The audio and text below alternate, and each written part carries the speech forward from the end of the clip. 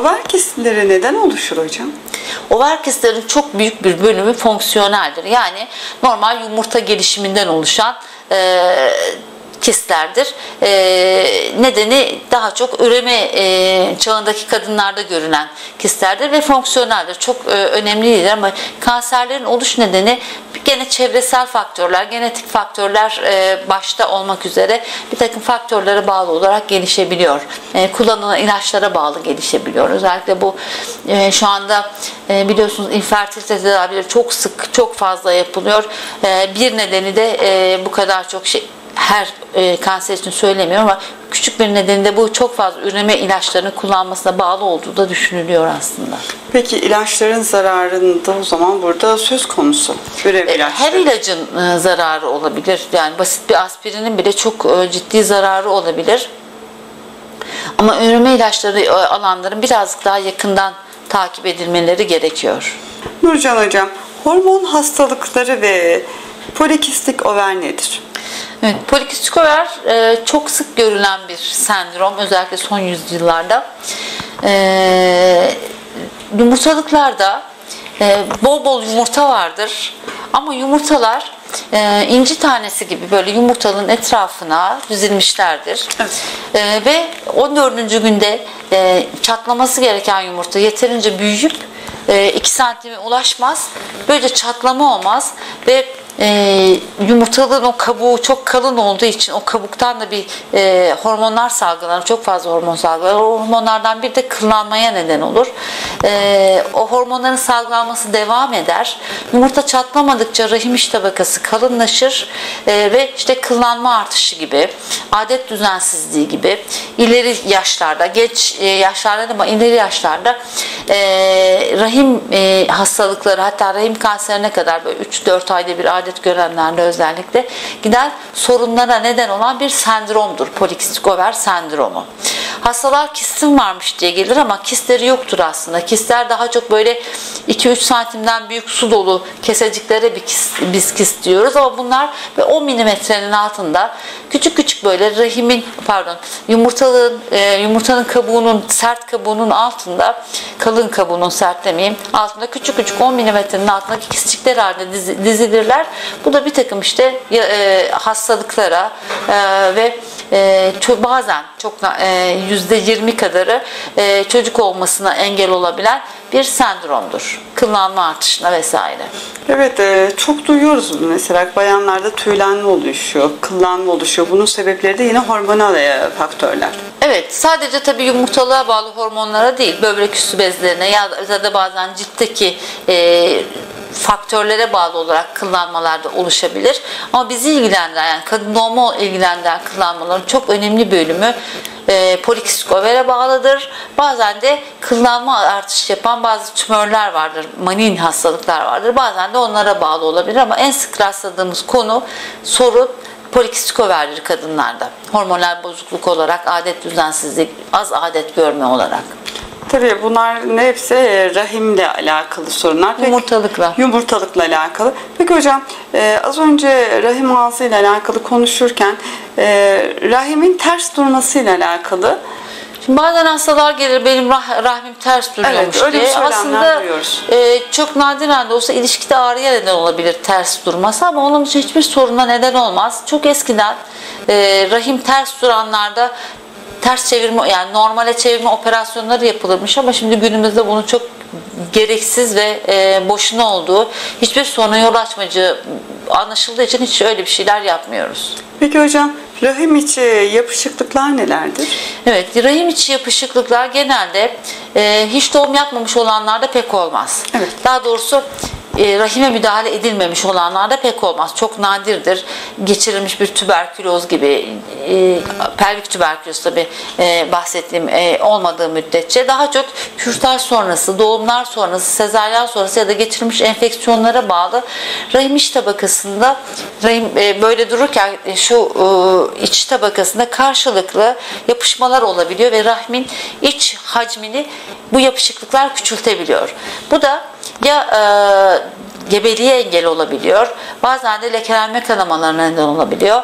E, ağrılara neden olabiliyor. Bu da histeroskopiden bahsetmiştim poliplerde.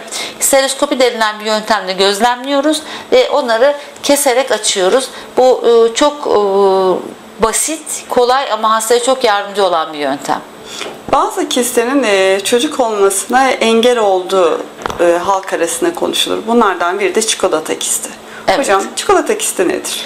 Çikolata kisti aslında gene yumurtalığın e, kistlerinden biri.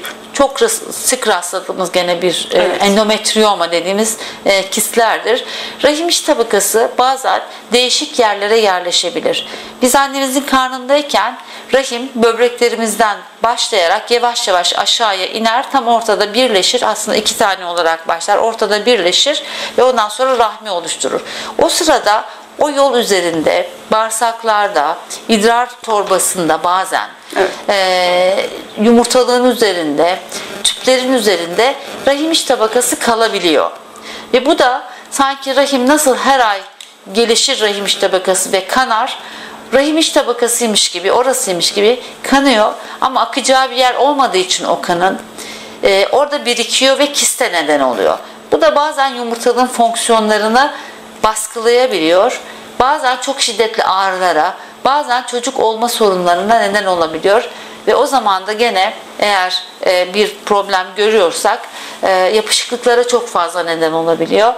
Gene operasyonla alıyoruz. Ama çok basit ve küçük e, endometriomalarda, çikolata kistlerinde e, bir takım hormonlarla, donkontopi gibi ona benzer hormonlarla baskılamayla sadece takip ediyoruz. Hocam bir de kadınlarda çok fazla sık gördüğümüz idrar yolu hastalıkları var. Evet. Peki idrar yolu hastalıkları nelerdir? Kadınların idrar yolları erkeklere göre çok kısadır. Erkeklerin yani dış idrar yolları, Evet. üretra dediğimiz. Erkeklerin 7-8 santimken kadınların 3 santimdir. Ve çok daha e, dış e, ortama açıktır. Birazcık daha kadınların e, hijyenlerine daha fazla dikkat etmeleri gerekiyor bunun için.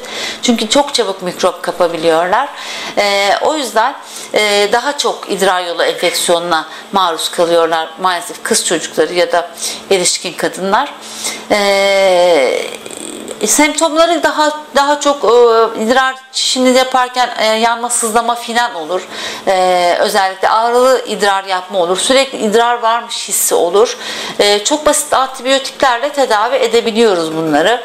Tabii e, tedavi edilmeyen idrar yolu enfeksiyonu böbreklere kadar çıkıp böbrek hastalıklarına, enfeksiyonlarına, yetmezliklerine bile neden olabiliyorlar. O yüzden e, idrar yolu enfeksiyonu deyip geçmemek lazım. E, mutlaka tedavi etmek lazım.